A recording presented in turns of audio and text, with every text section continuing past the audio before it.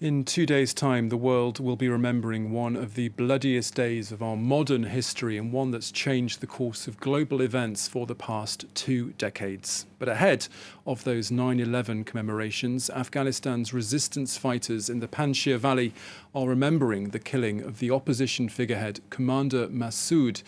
This year's anniversary is, of course, particularly pertinent with the Taliban claiming to be back in control of Afghanistan. For more on this story, we can speak now to Weeda Mehran, who's a lecturer in conflict, security, and development at the University of Exeter in the UK. Thank you so much for being with us here on France 24. Now, as I was saying, uh, 20 years have gone by since Commander Massoud's death, a death that was largely overshadowed by the atrocities committed in the US just two days later. But his role shouldn't be underestimated.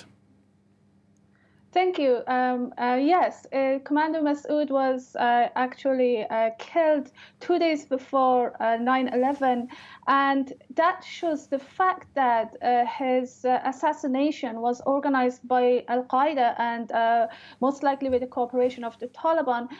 Um, it speaks a volume for itself because um, it shows that Al Qaeda feared him. Al Qaeda was concerned that in uh, um, following uh, the attacks of 9 11, that he would become an ally to the West and he would become a, um, a major force inside Afghanistan who would uh, um, uh, retaliate against Al Qaeda and who would be reinforced to fight against Al Qaeda and, uh, um, and the Taliban. And Commander Massoud, if we look at his life story and uh, his career as a, a, leader, a military leader in Afghanistan, we see that he stands out um, uh, amongst the uh, Mujahideen commanders in Afghanistan, that he was a military strategist. Um, a very successful military strategist uh, uh, in many regards. He was a charismatic leader and um, also in, uh, a patriot who became the icon of resistance in Afghanistan. And um, that resistance that he led as a charismatic military leader in the 1980s uh, during the uh, Russian invasion in Afghanistan and later on when the Taliban took over Afghanistan, he resisted in the valley of Panjshir against the Taliban. And uh, he acquired the Nom de Guerre uh, Lion of Panjshir. Uh, because of his resistance against both the Russian, uh, uh, the Soviet troops, and also against the Taliban. He, ha- he has been revered amongst Afghans as a, as a um, leader, a hero, and the no, the name that he has made for himself. Now that is because of his prestigious name right now that a lot of people put their trust in his son Ahmad Massoud, who is much younger and not experienced in the battlefield. Nonetheless, he carries that weight of uh, his father's reputation. Now, as you were saying there, his legacy and his memory still lingers in the shape of his son, both before and, of course, uh, since the Taliban's recent takeover of power in Afghanistan. Exactly, yes. And um, that is why, uh, actually, even right now, uh, the Taliban and uh, are, uh, are uh, worried about uh, this resistance that is being formed in Afghanistan, le- led by Ahmad Massoud his son.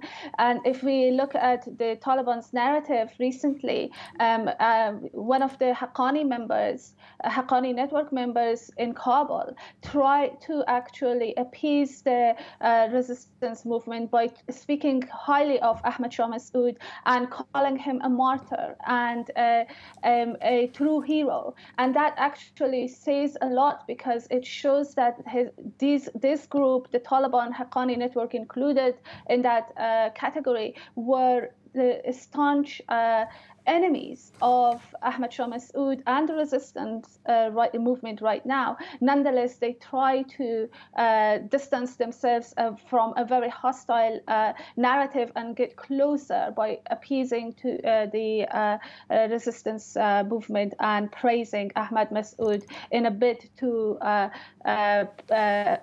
in a bit to appear more positive. What do you think, in your own humble opinion, what do you think that Massoud, Commander Massoud, would make of the fact now that the insurgents, the Taliban insurgents, are back in power in Afghanistan? I think if he were alive, the situation would have been rather different. I think because of this weight and support that he had, um, uh, the resistance movement would have been much more stronger right now.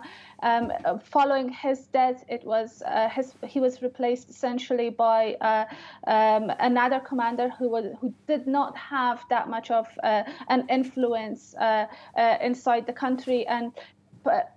I, I it is very much possible, given his reputation and given his uh, um, skills and a military strategist that he was, probably Afghanistan wouldn't, in some regards, wouldn't be at the uh, in the situation that it is right now, and definitely the wars in uh, in Panjshir right now, the resistance resistance in Panjshir right now might have been much stronger. Now, all of that being said, my analysis is essentially based on um, our readings and studies of military uh, studies of military studies and analyzing his uh, um, military st- strategies and him being a charismatic leader. And that being said, there are certain uh, certain periods in Afghan history that um, the charisma and authority of Massoud did not necessarily translate into um, a legal and uh, legitimation inside Afghanistan, which is normally based on social science studies, is required of a military leader who steps inside the government. And that that period was in the 90, early 1990s when the Mujahideen took over Afghanistan and war was going on in the country. So a number of conditions actually prevented Massoud to uh, unify the government and unify other forces as at the time that he was the Ministry of Defense. So there are chances that at least right now, if we analyze the resistance in Panjshir, it would have had a different shape and probably much stronger were he alive. Weeda Mehran from the uh, University of Exeter. That's all we have time for, but thank you very much for being with us here on France 24. Thank you.